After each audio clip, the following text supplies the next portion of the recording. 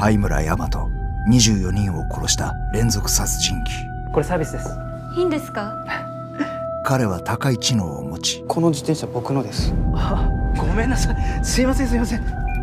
こんにちは。こんにちは。魅力的な人物で社会に溶け込み。いってらっしゃい。犯行は計画的。典型的な秩序型殺人犯に分類される。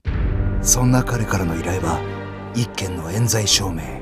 二十歳過ぎの女を拉致してすぐに絞め殺す。僕はそんなつまらない真似しないよ。まだ本当の犯人はあの町にいるかもしれない。真実にたどり着け。死刑に至る病。筧正也大学生。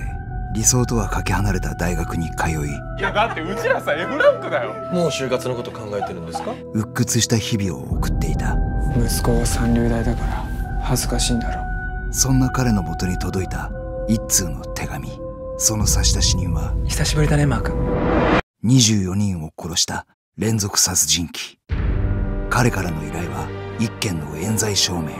マサヤは事件の調査に乗り出すが。彼の言うことは真に受けすぎてませんか？